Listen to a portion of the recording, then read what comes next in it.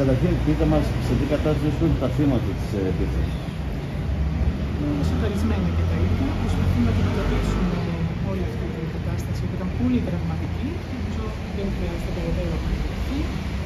Το να συγκληθούν 200 και πλέον άτομα με μένος απλά γιατί είσαι άνθρωπος και έχεις τη φιλική ταυτότητα φίλου, ένα δικαίωμα το οποίο αναγνωρίζεται ρητά τόσο από την ελληνική νομοθεσία, με τον ψηφιστέντα νόμο του 2017, βεβαίως από την ευρωπαϊκή και διεθνή νομοθεσία και μια δικαιοπολιτική, συμπεριληπτική και δικαιοκρατική πολιτεία οφείλει να διασφαλίσει για όλους τους ανθρώπους που είναι στην επικράτειά της το δικαίωμα να περπατούν σε δημόσιο χώρο, στους δρόμους, στις πλατείες, στα σχολεία, στο χώρο εργασίας, με ασφάλεια και ελεύθερα.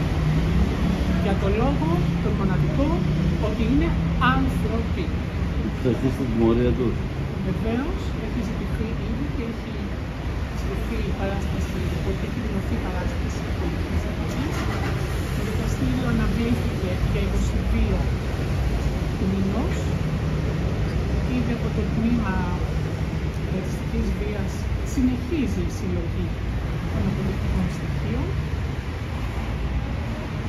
Κατά πληροφορίες, πιστεύουμε ότι θα βγουν και άλλοι κατηγορούμενοι, διότι θα δούμε τα βίντεο, μετά θα γίνει αναγνώριση για άλλη ανθρώπων και έχουμε πληροφορίες ότι στο διαδίκτυο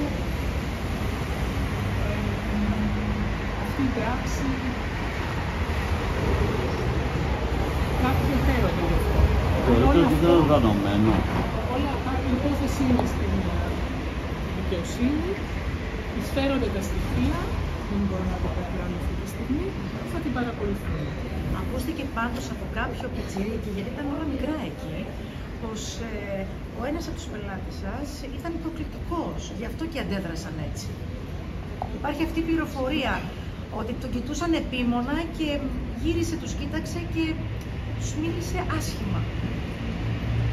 Το δικαίωμα να περπατά κανείς ελεύθερα στον χώρο, ενδεδειμένος όπως και περιμένει η ίδια τη στιγμή, νομίζω ότι δεν τελεί υπό καμία προϋπόθεση και σε κανέναν χαρακτηρισμό.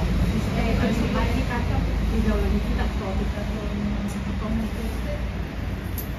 Η, η δράση της πολυπληθούς ομάδας έδρασε με βάση ρατσιστικό κίνητρο. Αυτή είναι και η κατηγορία η οποία αποδόθηκε. Το γεγονός αυτό ότι τόσοι πολλοί άνθρωποι φορούνται από ένα μίσος για έναν άλλον άνθρωπο συνιστά μια κοινή σκέψη, μια κοινή παραδοχή.